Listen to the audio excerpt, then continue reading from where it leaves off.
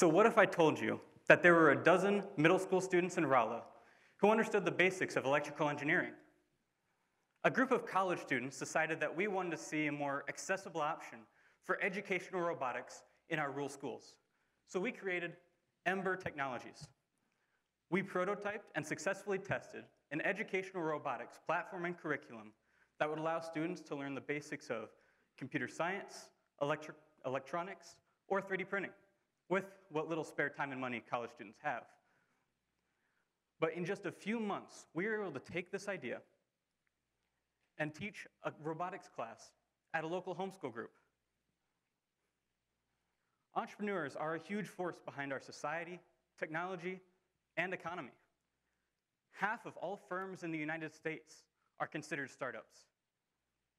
And startups in technology are responsible for a third of tech based employment as of 2017. So, why shouldn't we encourage students and everyone to be more involved in this?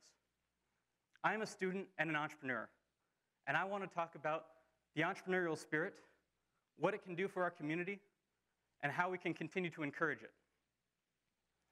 So, let's start with why students should get involved in entrepreneurship.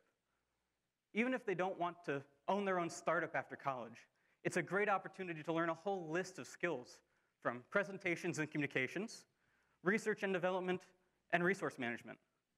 Few classes can teach that breadth of skills at once.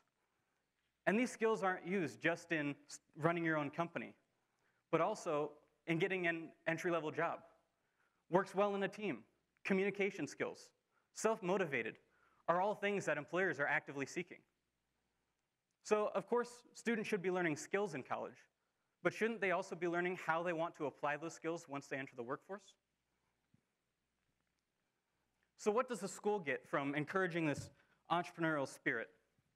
First, more active and motivated students. When students are encouraged to work on what they're passionate about, they're more likely to be engaged in class and more likely to participate in school activities and school groups.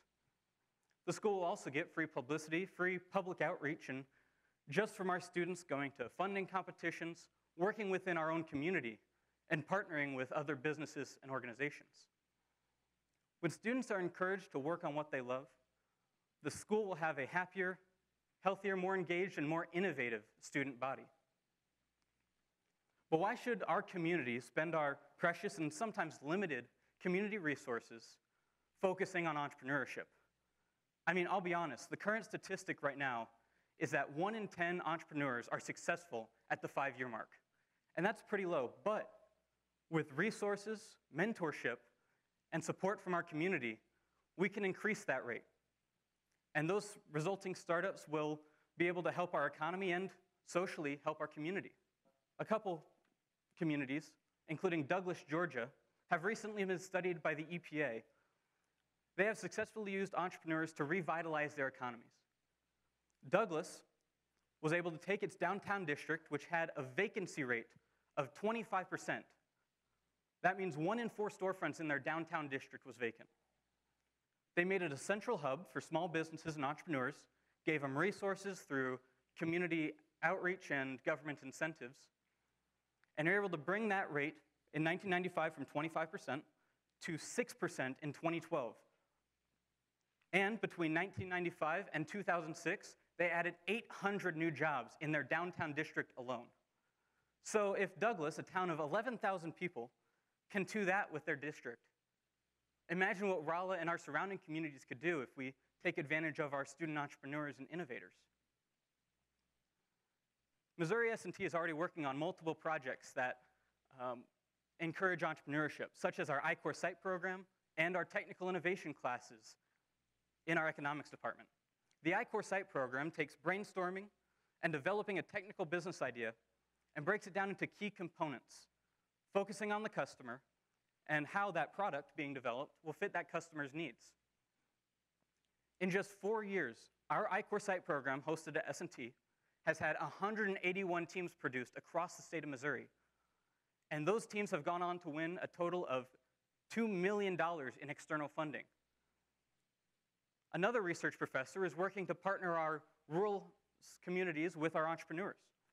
The hope is that entrepreneurs will get funding for their projects in exchange for going to these communities and helping them develop resources that will attract more technical entrepreneurs and more small businesses. Imagine what just three or four successful projects could do for our rural economies. Now, as I've said, S&T is already working on a couple projects, but we need to continue to encourage and facilitate entrepreneurship on campus and expand these opportunities. We need to show students that the entrepreneurship world is worthwhile and rewarding. For example, who wouldn't want to go to work when you're working on something that you've created? 1.1 million people are currently working for small businesses in Missouri. That's half of our active workforce. And, and small businesses that have 20 or less employees in Missouri added 20,000 net jobs to our workforce in 2015 alone. So Missouri's small businesses are healthy. So shouldn't we encourage our students to take part in this? Now, I'm focusing on the student because that's where I fit in the ecosystem. But that doesn't mean someone who's mid-career or even retired can't make a positive impact through entrepreneurship. If you have an idea, I'm going to ask you not to sit on it because you think someone must have already thought of it or it's not new or innovative enough. I want you to think of one crazy idea, whether you're faculty, staff, student, or not related to S&T at all. What if that idea were reality? How would our community, Rolla, be different? I love the TED slogan, ideas worth spreading.